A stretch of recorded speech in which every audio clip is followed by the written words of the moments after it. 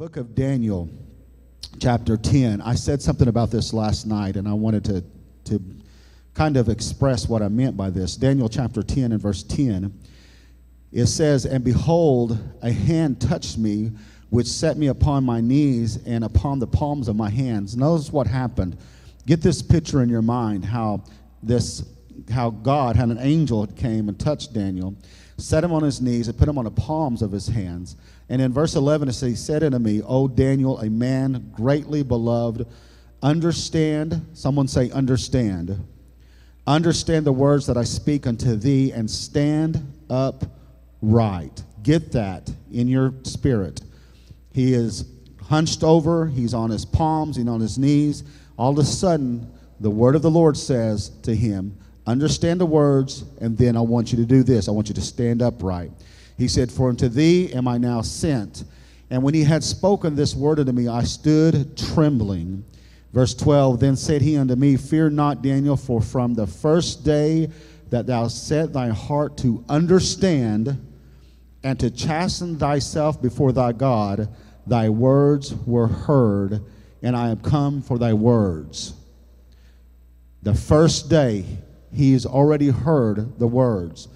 Verse 13 says, But the prince of the kingdom of Persia withstood me one and 21 or 20 days, 21 days. But lo, Michael, one of the chief princes, came to help me, and I remained there with the kings of Persia. Now I am come, here it is again, to make thee understand what shall befall thy people in the last days. That means that's not the last days of Daniel's time, it is the days that we're in, okay? Understand is the key word in this scripture.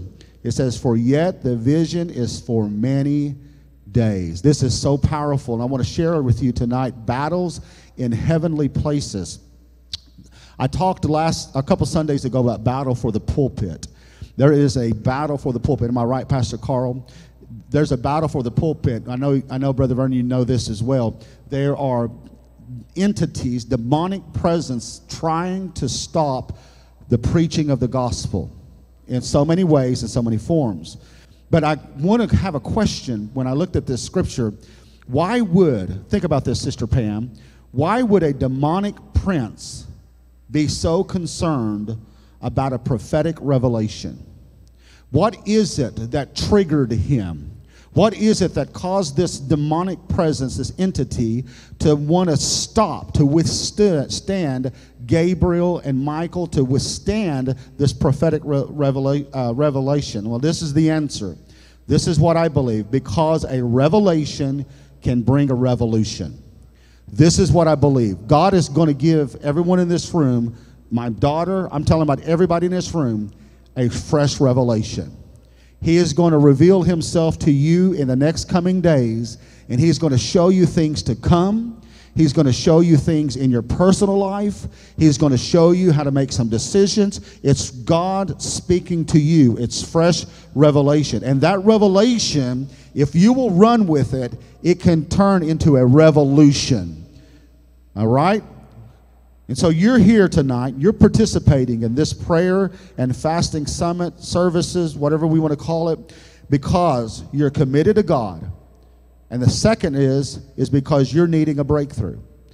God put this on my heart. I said, Father, I don't know how many people are going to come. He said, Don't worry about the, the number of people. You obey me.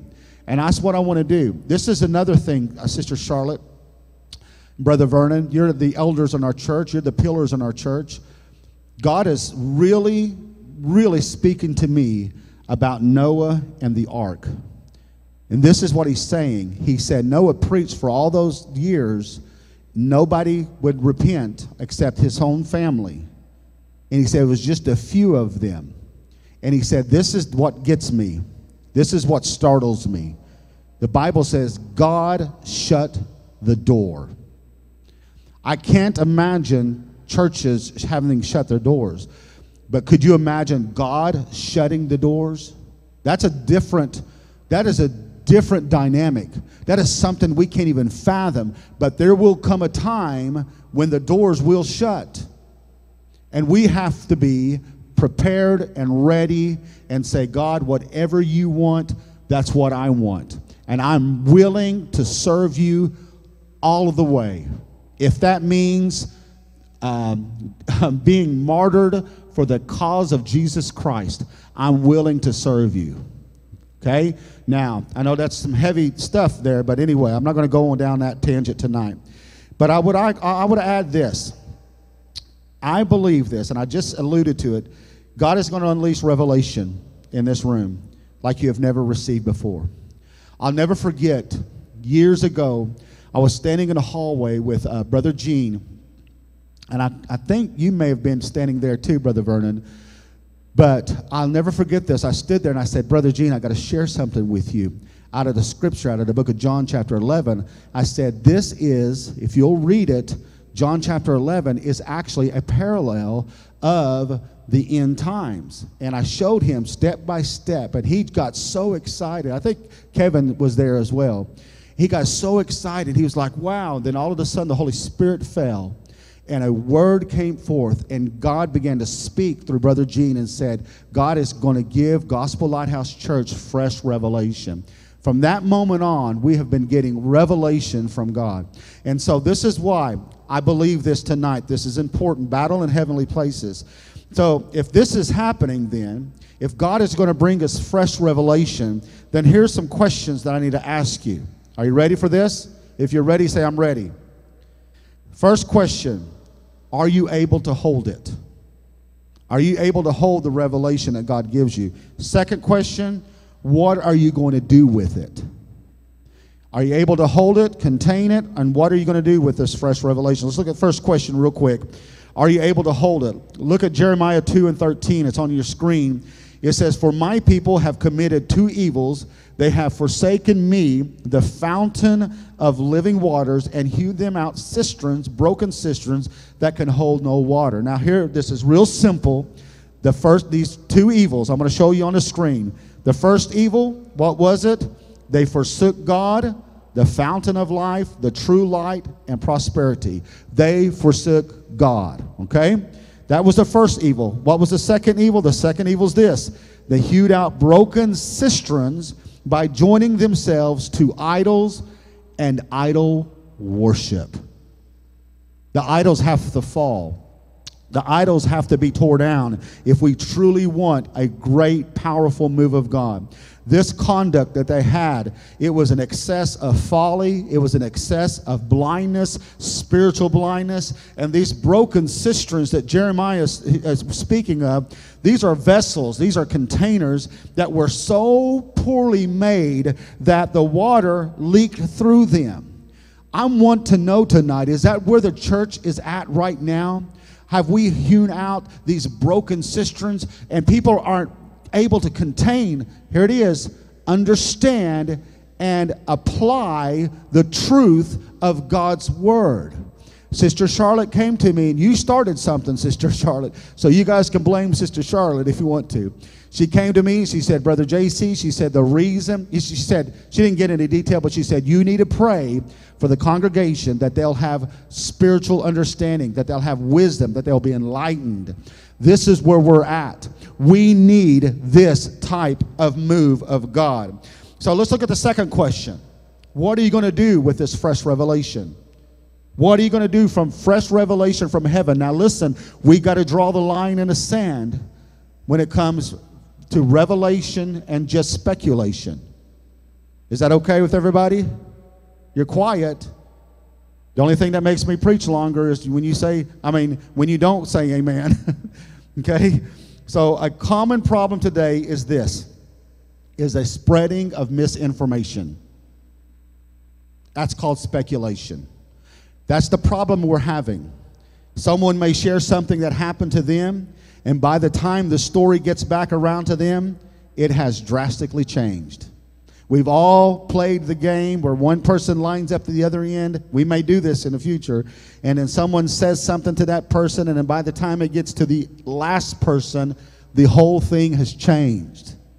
That has been a problem. The spreading of speculation, the spreading of misinformation. Let me show you something. Look at this next thing that I'm about to show you. Fresh revelation from God deserves careful evaluation with God. I want you to see that again. Fresh revelation from God deserves careful evaluation with God. The, this is where we have to stop and just say, wait a minute, what are you trying to say? Jesus said this in Matthew 24. He says, In the last days there will be false prophets, right? He said there would be even to the point where there would be pretend Jesuses around. He said, You will know them by their fruit, right? And so, what we have today is a, ram- a rampage of deception. And it has creeped in the church. Why? Because the church is broken cisterns.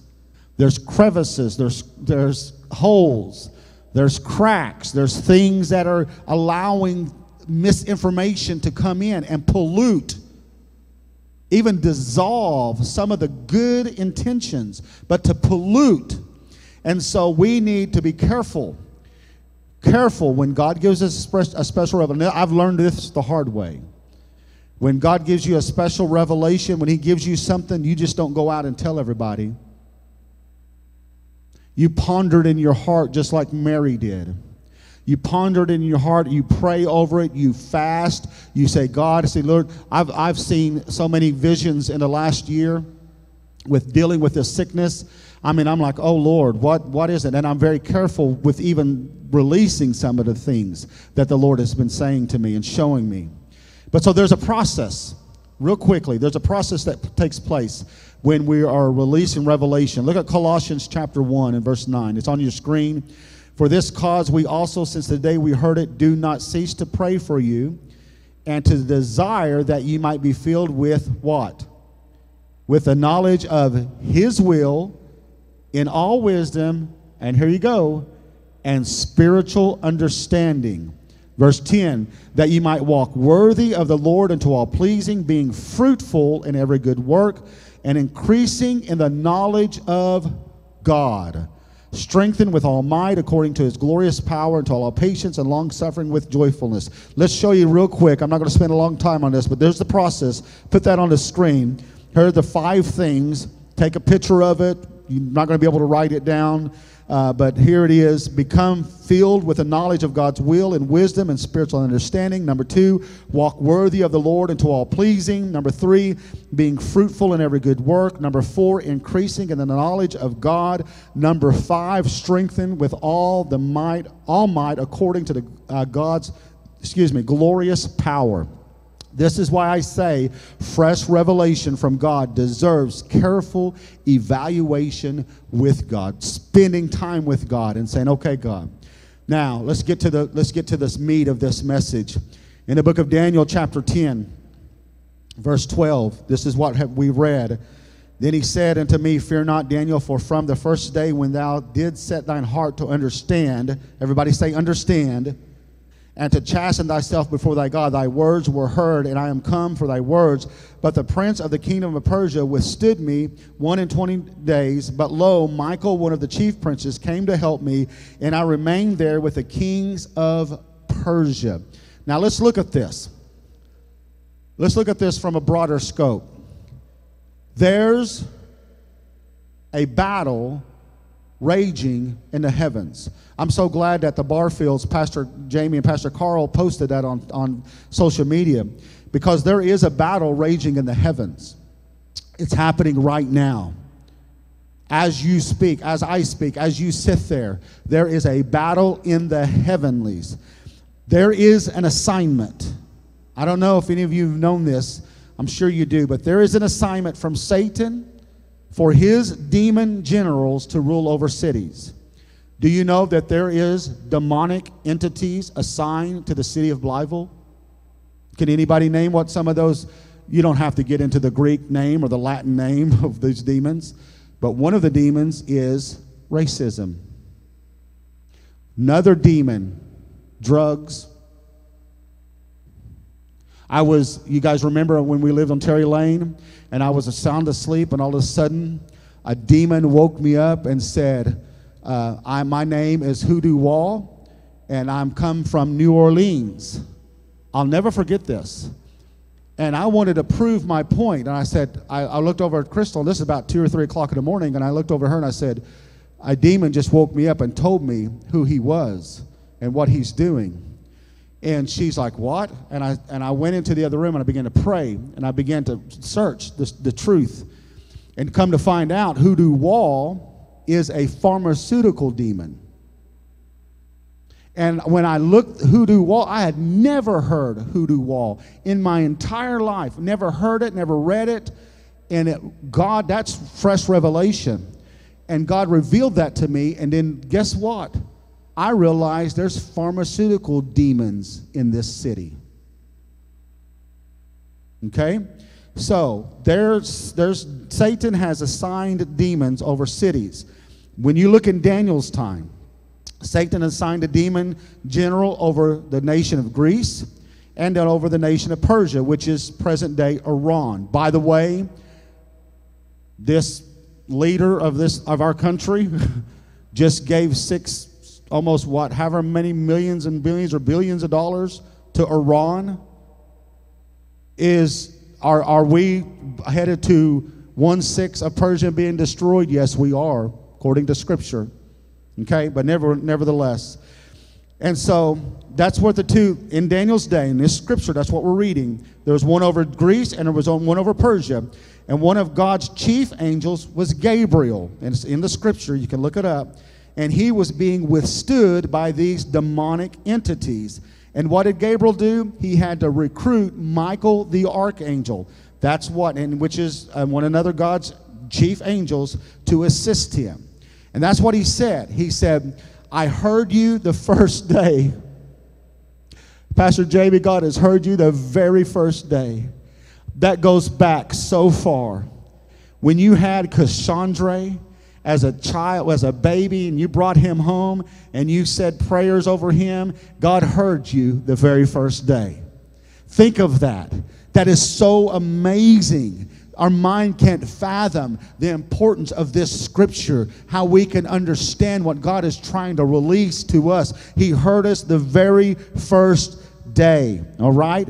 And so I, I love this idea, but this is where we got to put ourselves in this picture. Because remember, where is Daniel? Daniel's kneeling down, he's on his knees, and he's on his palms. And the angel Gabriel tells him, Stand up. Where's the church right now? Because of COVID, because of the lockdowns, because of all the, the, the, the ruckus with races and uh, the political junk that's been going on, the, the financial sector just going and I mean mad. Where's the church? Asleep. We can't we cannot combat wokeism being uh, not being awake, right? We got to wake up. You're right. The church is on her knees, on her palms, in a place of defeat. We have to stand up. And so this is how we do it. Are you ready? Ephesians 6 and 12 says, For we wrestle not against flesh and blood, but against principalities, against powers, against the rulers of darkness of this world, against spiritual wickedness in high places. And so there are a ton of reasons ton of reasons why there's a battle raging in the heavens. First heaven, second heaven, whatever you want to call it. But there's a ton of reasons that there's a battle raging. But the bottom line is this the battle that's raging is over this one thing over the fulfillment of truth. That's why the battle's going on. The truth. God has outlined a destiny of truth for your life. There's a battle for it. There's a battle for truth. And that, not just truth, but the fulfillment of truth. Why? Why is there a battle for truth? Well, the scripture tells us, Brother Vernon, it's the truth that makes us free. It's the truth that sets us free. It's the truth that makes us free. Second Corinthians chapter 10, verse 3. For though we walk in the flesh, we do not war after the flesh, for the weapons of our warfare are not carnal, but mighty through God, the pulling down of strongholds, casting down into imaginations every high thing that exalts itself against the knowledge of God, and bringing in captivity every thought to the obedience of Christ. So, I was, I was listening to Pastor Tim Dilena today, and he said he had a large uh, university um, dean call him as a Christian college, Christian university, call him and he said, We have a problem. And Pastor Dilena was saying, Well, what, what's the issue? What's going on? What's the problem? And the dean of this large, major Christian university said, There is artificial intelligence, there's apps right now that is diluting the gospel. And our students are getting a hold of these apps. They're, these apps, this AI app is created by AI. It is um, leaning so far to the point where it's even saying that Jesus was transgender. What is the spirit of Antichrist? Somebody quick and tell me. Anybody? Don't you read your scripture? The spirit of Antichrist is when they begin to say Jesus did not come in the flesh. Look it up, First John chapter 4. And so you and I know we are in the last days. And we need to be prepared. So, spiritual resistance, put it on the screen, Caleb. Spiritual resistance requires spiritual assistance. That's why we fast and pray. So let's look, let's end this real quick. He said in Daniel 10 and 14, he said, Now I am come to make thee understand. Someone shout, understand. See, this has been a battle over understanding. He says, Now I come to make thee understand what shall befall the people in the latter days. What shall happen to them? For yet the vision is for many days. Well, understanding, this is our application. To make true applications, to understand the battle in heavy places is the battle for truth. Is the battle for truth. But truth will make no sense unless you understand truth. I've had marriage counselors. I've been in been in marriage counseling, counseled someone one time for five hours. Me and my wife. Lord have mercy. I said we're never doing that again. Been in been in just recently. I've been in some marriage counseling with some people over the phone, um, but I have always said this. They tell you communication is one of the most important elements in a marriage. And I, I can't argue with that. I, you got to communicate. But you got to do more than just communicate, you have to understand. Right? It's like if I'm sitting on the recliner and my wife says, Honey, I need you to take the trash out. She's communicating to me. But if it sits there and piles up for weeks and she hits me with a frying pan, then I understand. right? This is what's happening. God wants to bring some understanding. This is why there's chastisement. Listen, I would rather chat just like Daniel did, chastise this flesh than any day receive a chastisement from the Lord. That is tough stuff. Been there, done that, got a t shirt. God help me that I'll never have to go through that again. but I'm telling you, this is where we're at. It's to understanding the truth. Understanding the truth is to commit to follow God wherever He leads you. Commit to follow God. Whatever He says, whatever God allows, whatever He does, I'm following you, God. I'm committed to you. Look at Hosea 6 1 and 3. Come, let us return to the Lord, for He has torn and He will heal us. Did you hear that? What has happened? And with, with the COVID and the shutdowns and the things, there has been a tear in the body of Christ. Okay? He has torn and he will heal us. He has smitten and he will bind us up. Why would God do these things? Because he wants us to be the bride of Christ without spot, without wrinkle. And then look at verse 2. After two days, will he revive us. Thank you, God. After this process, he will revive us, and then in the third day, he will raise us up. And we shall live in his sight. Look at verse 3. Then shall we know if we follow on to know the Lord. His going forth is prepared as the morning, and he shall come unto us as the rain, as the latter and former rain of the earth. That's it. And guess what? When you follow on to know the Lord, what happens? He reveals his secrets to you. Man. That is beautiful. Psalms division 25 and 14 says, The secret of the Lord is with them that fear him, and he will show them his covenant. Listen what Daniel says about secrets.